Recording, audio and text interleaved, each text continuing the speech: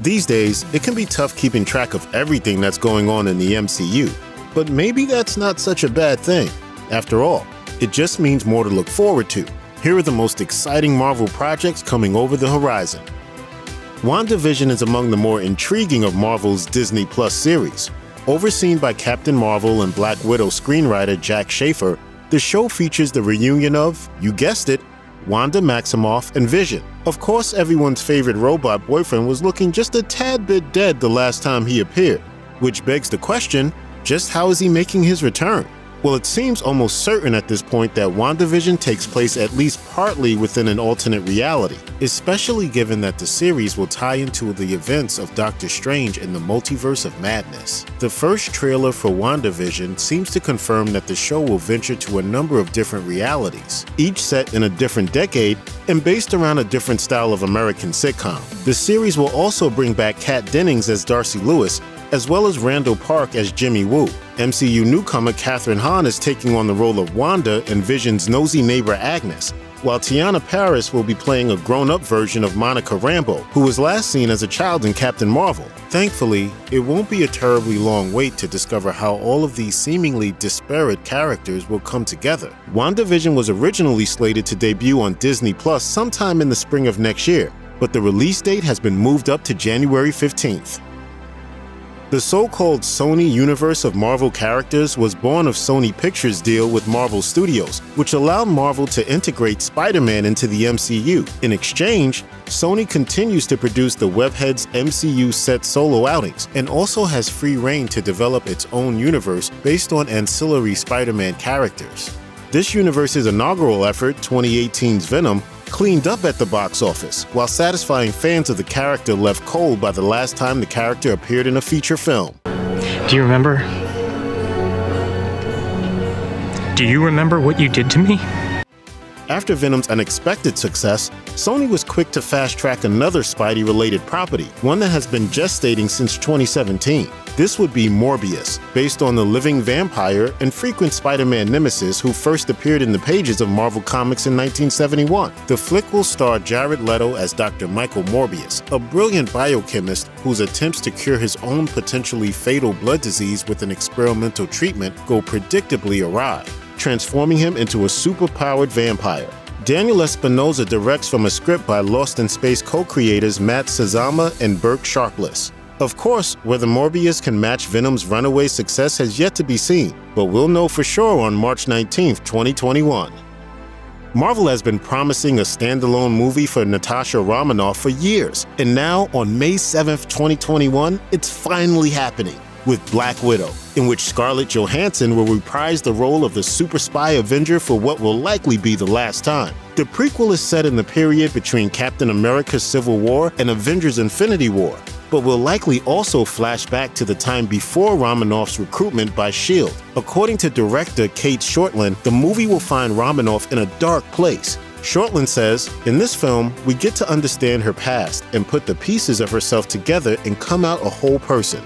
Much of the action will take place overseas, and yes, it seems fans will finally get to find out just what went down in Budapest. Johansson's co-stars include Florence Pugh and Rachel Weisz, who will appear as operatives who have undergone the same Red Room training that honed Romanoff's deadly skills. Also starring is David Harbour, who will portray Alexei Shostakov, aka the Red Guardian, Russia's answer to Captain America.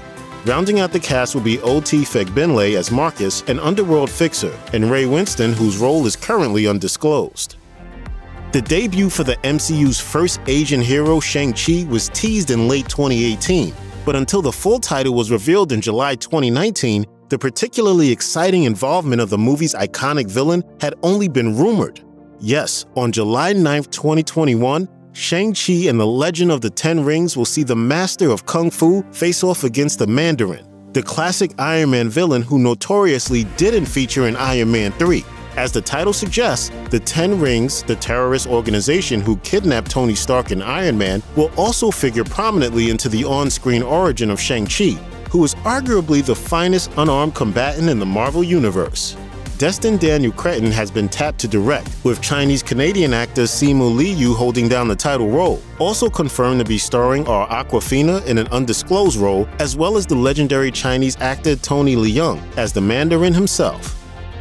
Another long rumored project to finally be confirmed at Comic Con in 2019 was the Disney Plus series The Falcon and the Winter Soldier, which will see Anthony Mackie and Sebastian Stan reprising their roles of Steve Rogers' two best buddies. It seems that Sam Wilson may have a bit of reconciling to do between his old heroic identity and the new identity bequeathed to him by Rogers himself at the conclusion of Avengers Endgame. Exact plot details have so far been kept under wraps, but we do know one thing for sure the six episode series will see the return of Zemo, the man who goaded the Avengers into the titular conflict of Captain America's Civil War. And he'll even be sporting his distinctive purple mask from the comics. The Handmaid's Tale director, Kari Skogland, will helm every episode, with writing duties being handled by Empire's Malcolm Spellman and John Wick's Derek Kolstad.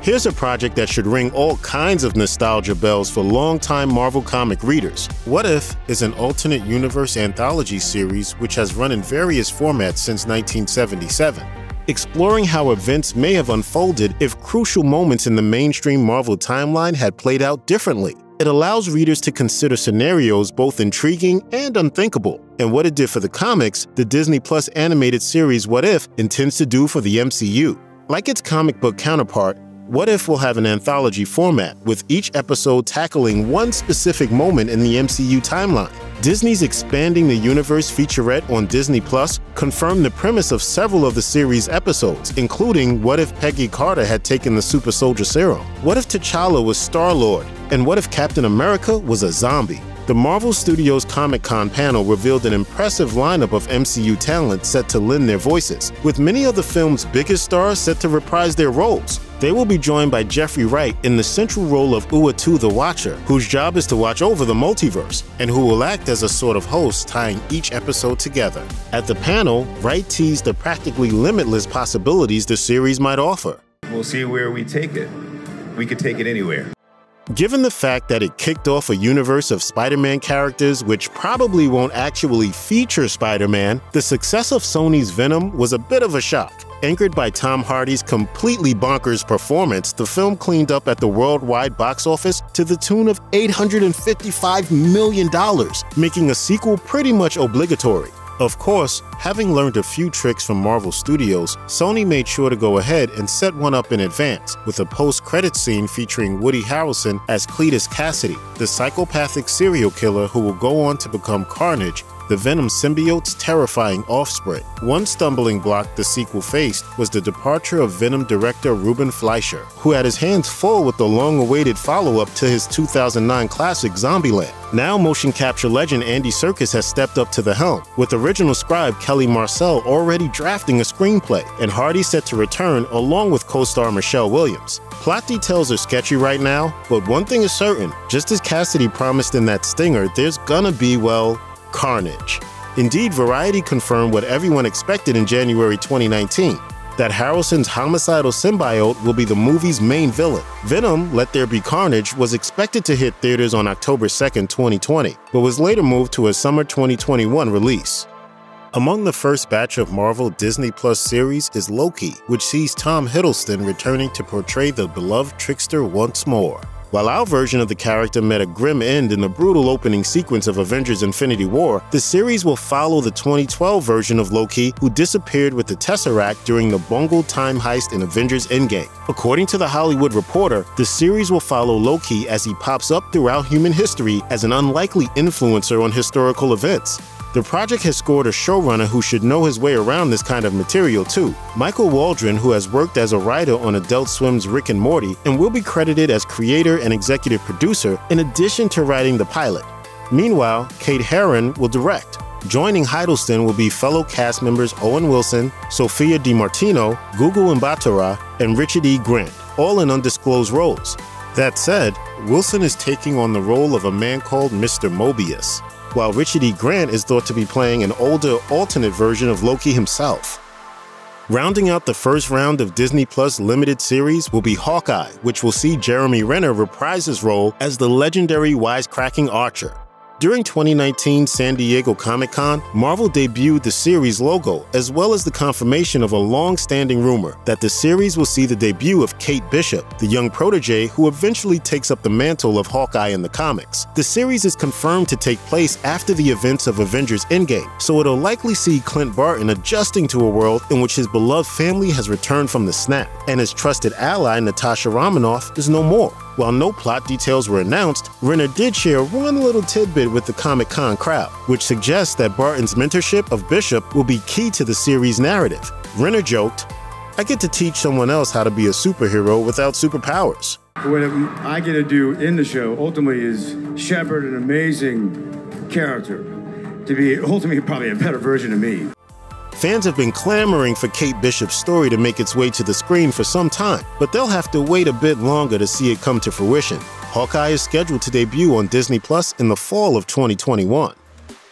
In 2019, Marvel Studios opened their Comic Con panel with Eternals, an interesting if lesser known property which should help anchor the cosmic side of the MCU. The titular race of superpowered beings were created eons ago by the Celestials in order to defend the Earth from their polar opposites, the Deviants. The Eternals were the brainchild of the great Jack Kirby, who created the comic in the mid 70s after his run on New Gods at DC. Marvel head honcho Kevin Feige has teased that Eternals' story may span tens of thousands of years, telling an epic story of the kind we haven't yet seen in the MCU. And the movie, which will be directed by the Rider's Chloe Zhao, has assembled a suitably epic cast.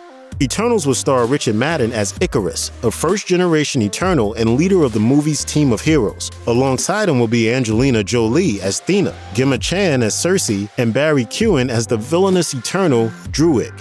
Meanwhile, Kumail Nanjiani will appear as Kingo, a samurai and Bollywood movie star. Lauren Ridloff will play a gender swapped version of Makkari, a tinkerer and engineer. And Brian Tyree Henry is Phastos, a master weapons maker who nevertheless prefers not to fight. Salma Hayek will play Ajak, another gender swapped character, while Lia McHugh features as the trickster Sprite. It's a heck of a cast, and although the Eternals may not be A-list Marvel characters, there's a good chance this will become one of the studio's biggest properties. Eternals is due for release on February 12, 2021. For just over a month during the summer of 2019, Spider Man fans were left brokenhearted at the news that talks between Disney and Sony Pictures had broken down, and their shared custody agreement over Spider Man had come to an end.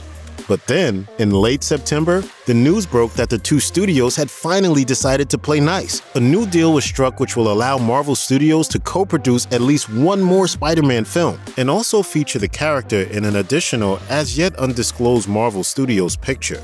It's been speculated that Marvel's third Spider Man movie will essentially be used to write the wall crawler out of the MCU in preparation for a move to Sony's own Spider Verse. But the reality could be a lot more complex and a lot weirder. When J.K. Simmons reprised his role as J. Jonah Jameson from Sam Raimi's Spider Man trilogy in the end credits of Spider Man Far From Home, everyone suspected something strange was afoot in the MCU. Now things are set to get even odder as Marvel revealed in October 2020 that Spider Man 3 would pull in yet another character from a previous unrelated Spider film, with the announcement that Jamie Foxx would be returning as Electro, his character from The Amazing Spider Man 2. Since then, the return of many classic villains and alternate Spider-Man have been confirmed, while Far From Home teased at a multiverse that ultimately turned out to be a ruse perpetuated by Mysterio. Simmons and now Foxx's inclusion seem to suggest the real deal is on the way, a fully fledged multiverse that brings together all of the past iterations of Spider-Man. We'll learn more about how Marvel's various Spider-Verses fit together when Spider-Man 3 hits theaters on December 17, 2021. Given the fantastic character arc that unraveled over his last several appearances, speculation had been running high for some time that Thor would be the first Avenger to land himself a fourth solo film. That's what.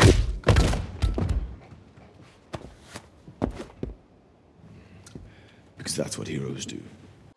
In July 2019, Marvel finally confirmed this was the case, with Thor Ragnarok's Taika Waititi returning to direct. But that wasn't all Marvel announced.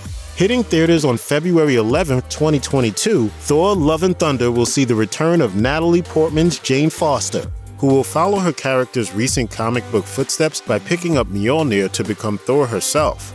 Tessa Thompson will also return as Valkyrie, and Kevin Feige has confirmed that this time around, it will be made explicit that the character is bisexual, a first for a major character in an MCU film. It has also been all but confirmed that the Guardians of the Galaxy will be making an appearance in the movie, and that the main villain will be played by none other than Dark Knight alumnus Christian Bale. With all that in mind, it's hard not to believe that Marvel will be expecting Love and Thunder to be one of their biggest and most popular Phase 4 releases. Frankly, who could argue otherwise?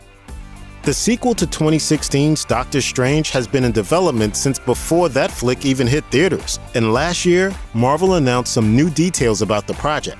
Namely, that it would be titled Doctor Strange in the Multiverse of Madness, that it would co star Elizabeth Olsen as Wanda Maximoff, and that it would be directly influenced by the events of WandaVision. The Marvel faithful were suitably psyched, but then disaster struck.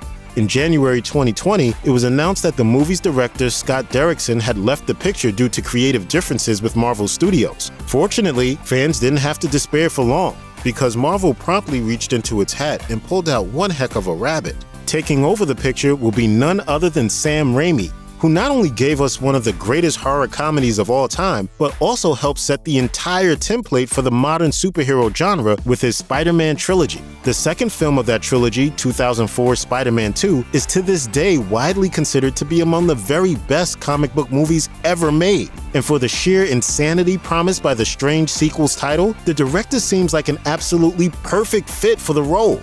Doctor Strange in the Multiverse of Madness releases on March 25, 2022. After the tremendous success of 2018's Black Panther, a sequel seemed like a foregone conclusion.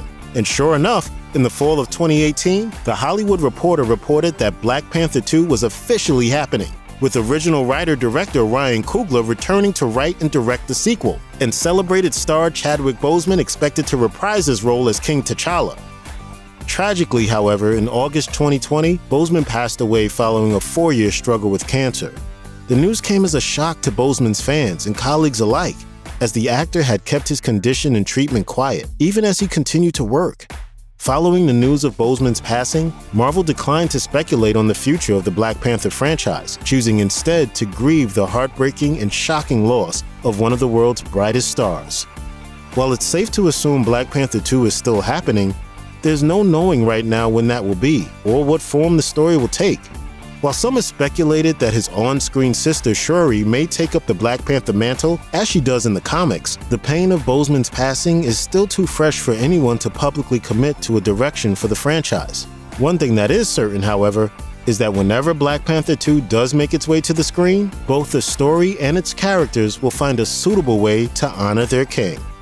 Check out one of our newest videos right here. Plus, even more Looper videos about your favorite movies are coming soon. Subscribe to our YouTube channel and hit the bell so you don't miss a single one.